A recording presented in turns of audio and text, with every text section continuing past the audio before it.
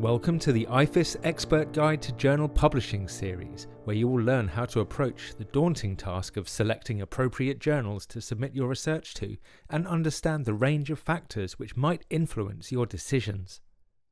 Finding the right journal for your work can make a big difference to the way it is received, so the process of selecting a journal can be an important one one of the most common reasons that submissions are rejected is because they fall outside the aims and scope of the journal or do not conform to their instructions and guidelines and are therefore unsuitable for consideration.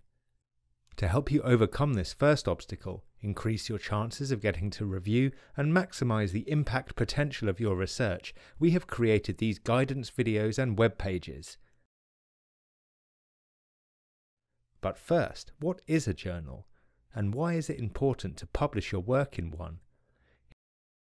The right journal will make your work visible to the most relevant audiences who will be the most interested in reading it and building on it.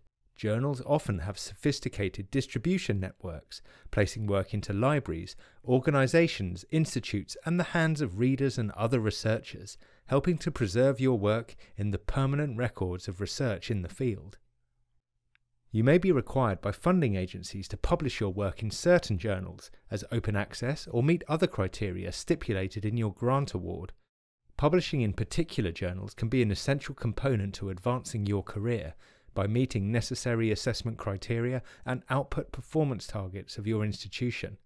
The peer review process can also help you reach peers and senior members of the research community by having journal editors, editorial boards, and reviewers read your work.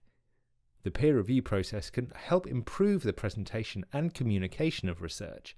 The feedback can help you frame your arguments in the most effective ways and may even present valuable new insights into your own work.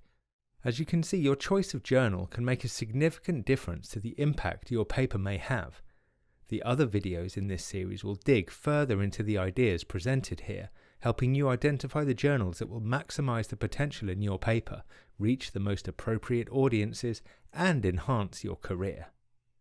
Read even more details on this topic in our journal publishing guide and watch the rest of the videos in this series for information on understanding the aims and scope, instructions for authors, peer review, ethical considerations, citation and alternative metrics, and predatory journals.